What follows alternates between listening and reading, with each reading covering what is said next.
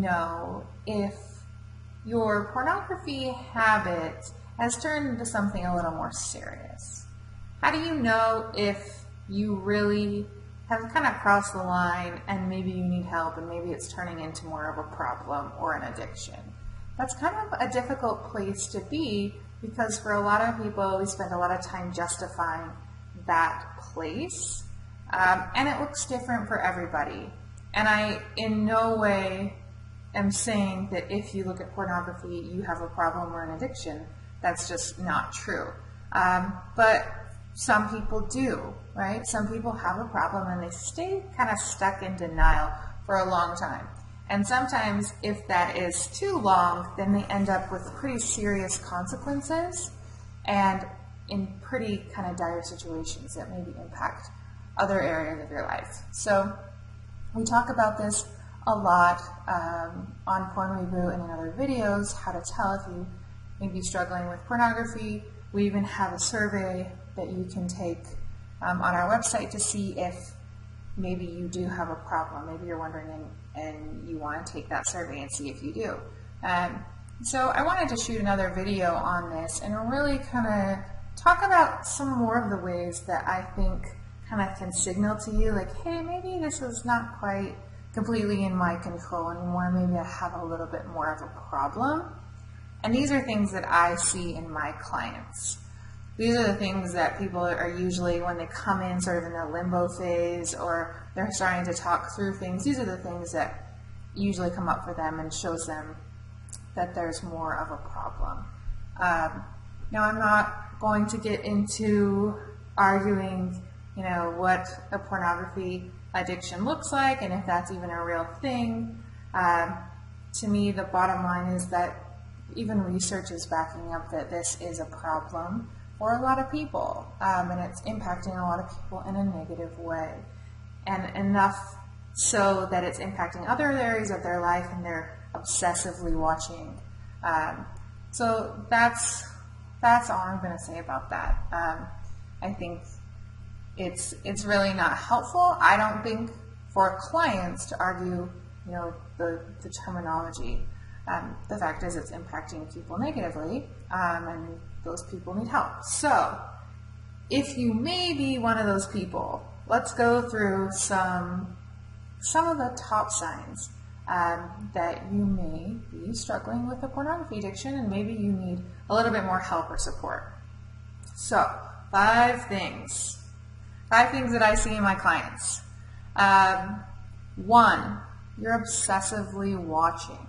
Okay, so watching porn a handful of times or more, right, does not necessarily mean you have a problem or a habit or an addiction. Okay, that doesn't necessarily mean anything. Watching obsessively, though, being preoccupied with watching, frequently having thoughts and urges that consume your mind until you're planning on when you're going to watch next or what you're going to watch next or how you're going to do that, um, or justifying ways that you can you know, watch more, watch again, uh, maybe uh, those things consuming your mind, those things indicate that maybe you have more of a problem, right? That's starting to turn into more of an obsession. That's not just something like that happens once in a while, right? That's something that is kind of taking over your mind and it's obviously kind of digging itself into your mind more. So you're obsessively watching. That's one. Two, you've tried to stop but you can't, right? So this is one of those things that for everything, it kind of signifies you've crossed over from a habit to a real problem. And that really is if you've tried to quit and you can't. Maybe you've tried many times to quit and it's just not successful. Um, maybe you've tried different avenues and you have really strong intentions to quit or to cut back, but inevitably you're back there watching again. Um, and that's really tough for people, especially if they're really determined to quit. And maybe they have reasons why they want to quit. You know, it's impacting life in certain ways. Maybe it doesn't line up with some of their beliefs. Maybe a partner is upset about it. Whatever that is, they have reasons and they really want to quit. And then they are back watching again. That can be really hard. So the psychological impact of that can be really devastating because we feel out of control. We feel like we have no control over our lives, especially if it's like, I want to get rid of this, I want to be done with this, and then I'm doing it again. That can be really hard for people.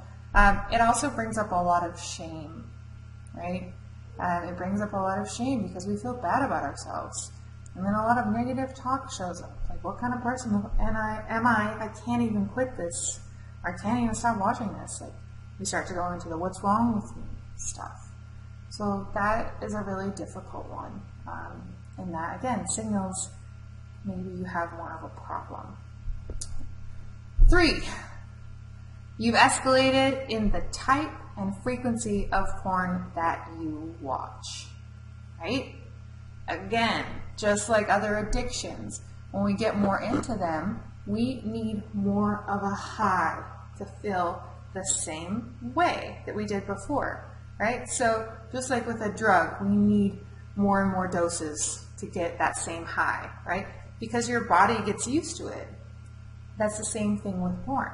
So the more you watch, the more you watch, the more you watch, the more you kind of need to, to up things to kind of feel the same, right? So if you've started to notice that you're escalating in the you know type of porn, the frequency that you're watching, those things are starting to escalate. That can be a sign that hey, maybe you have more of a problem.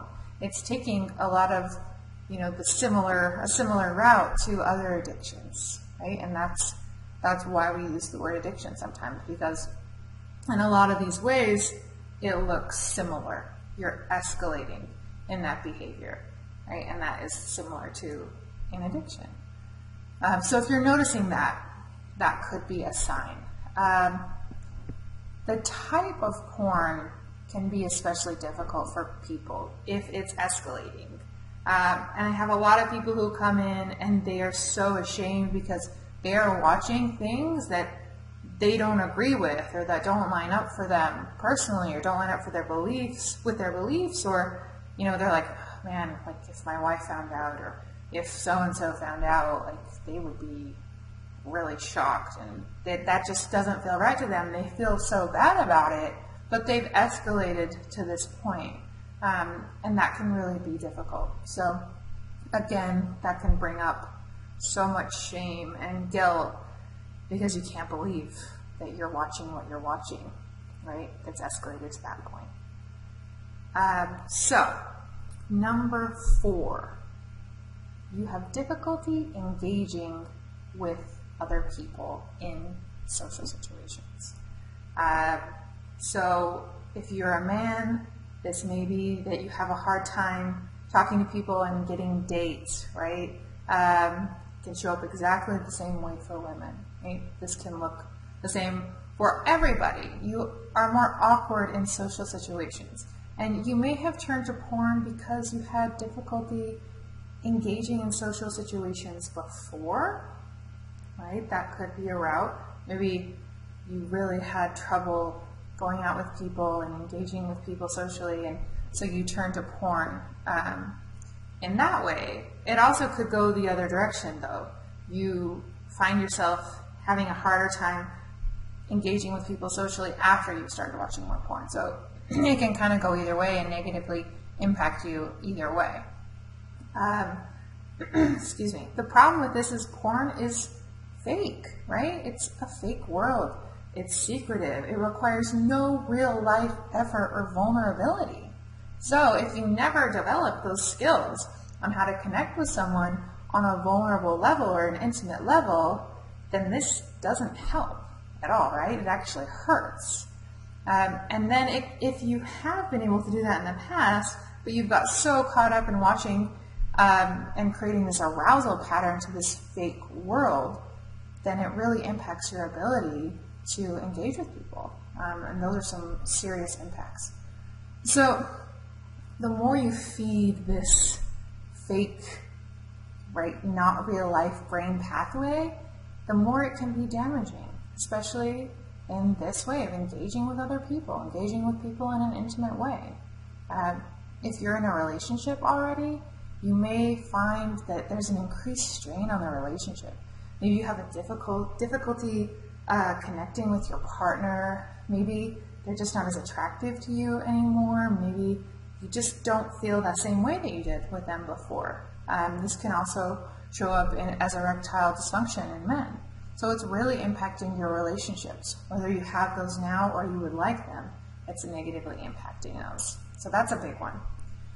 So the last one that I'm going to talk about today is you experiencing you you are experiencing worsening depression and anxiety and you probably have difficulty focusing.